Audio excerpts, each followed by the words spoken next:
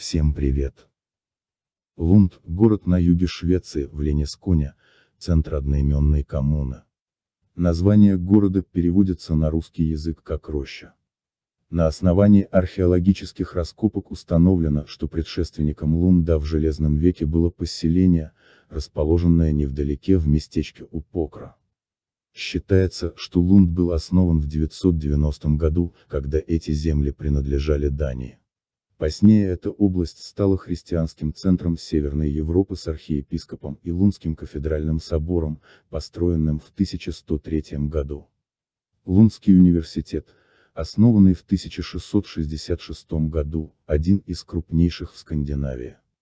По состоянию на 2005 год в городе проживает 76 188 человек, исключая временно учащихся студентов. Всего в Лунской коммуне проживают 105 286 человек. Декабрь 2007. Лунский собор. Момент основания Лунда до сих пор остается неясным. До недавних пор считалось, что город основал Кнут Великий около 1020 года. Однако, недавние археологические раскопки дали возможность предположить, что первые поселения на этой местности относятся к 990 году. Затем население из поселения Упокра, швед, Апокра, переехало к тому месту, где сегодня находится Лунд, что произошло по воле короля Свена Велобородова. Впрочем, небольшое поселение Упокра по сей день существует на своем историческом месте. В нем установлены стационарные стенды с обширными комментариями. География. Лунд находится в самом большом в Швеции сельскохозяйственном районе. Климат. Нормы и рекорды за 1991-2020 годы. Янв. Фев. Март, Апр. Май, июнь, июль, АВГ. Сен. Окт. Нояб. Дек. Год. Абсолютный максимум Си. 10,9, 14,0, 19,3, 27,1.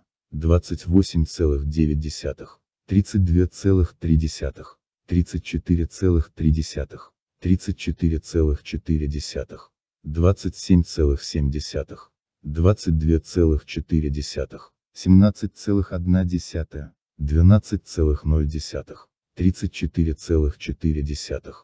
Средний максимум Си, 3,0, 3,4, 6,7. 12,7, 17,5, 20,6, 23,2, 22,7, 18,2, 12,5, 7,4, 4,3, 12,7.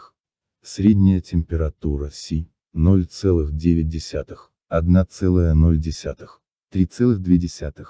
7,8, 12,4, 15,8, 18,3, 17,9, 14,0, 9,3, 5,2, 2,3, 9,0. Средний минимум Си. 1,2, 1,1, 0,2, 3,7.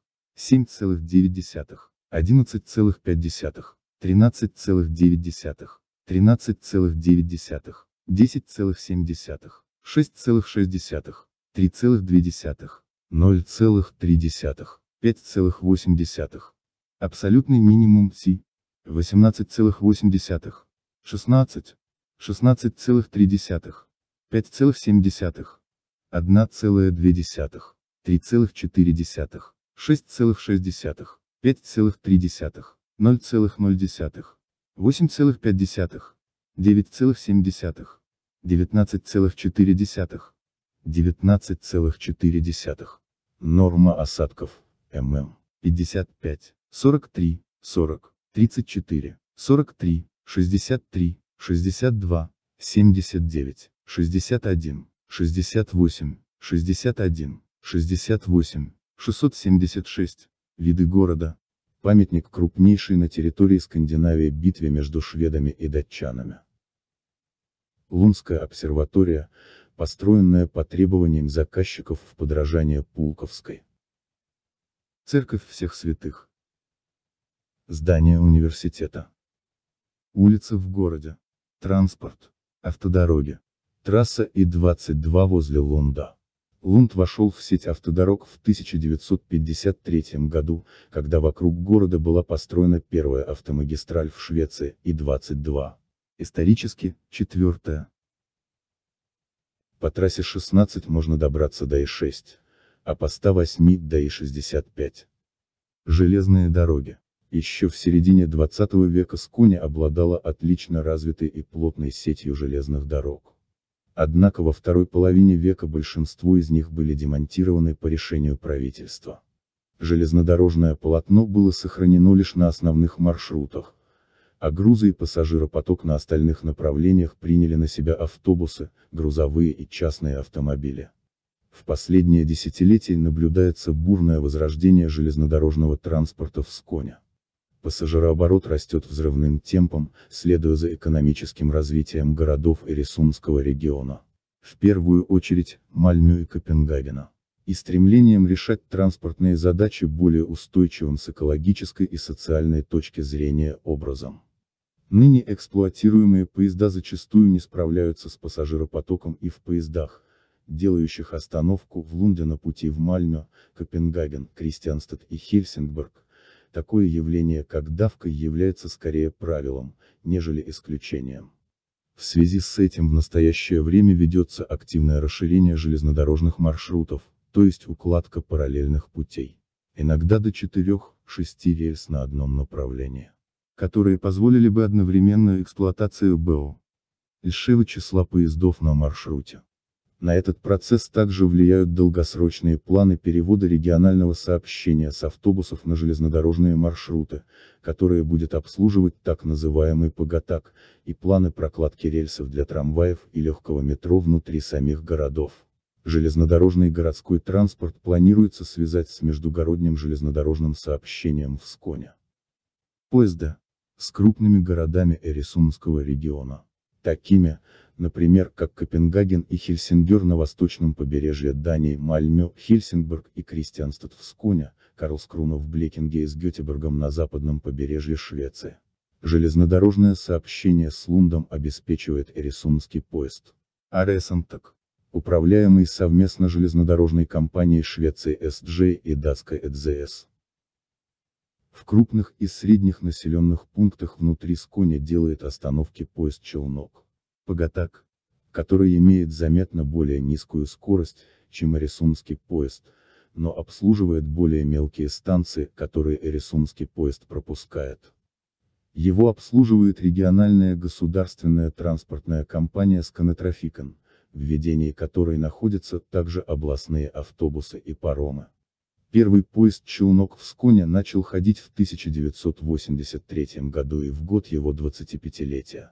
В 2008 было представлено новое поколение Пагатак, более комфортабельное и скоростное по сравнению с первым. Трамвай в Лунде. Запуск в августе 2020. С другими крупнейшими городами Швеции, такими как Гетеборг, Стокгольм, Сунцваль из Лунда по железной дороге можно добраться на самом быстром на сегодняшний день поезде Швеции, скоростном 10 2000.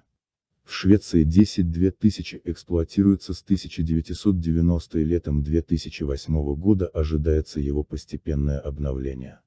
Новый вид поезда, новый вагон Бестро. В августе 2020 года в Лунде запустили первый тестовый трамвай Ланда Экспрессен. 13 декабря 2020 года открыто регулярное движение трамваев по маршруту длиной около 5,5 километра от станции Ланд-Си до конечной Ланд-С. Аэропорты. Жители Лена Скуни в основном пользуются Копенгагенским аэропортом Каструп в 45 минутах пути на электричке от Лунда. Для авиапутешествий внутри Швеции жителям Лунда доступен аэропорт Стуруп в Мальмё. К югу от Лунда расположена взлетно-посадочная полоса Хасланда, используемая в основном частными самолетами и чартерными рейсами. Промышленность. В городе находится штаб-квартира компании Pak. В Лунде находится научно-исследовательский центр компании Sony Mobile Communications. Представлена также медицинская промышленность. Фирмы AstraZeneca и Gembro. Наука.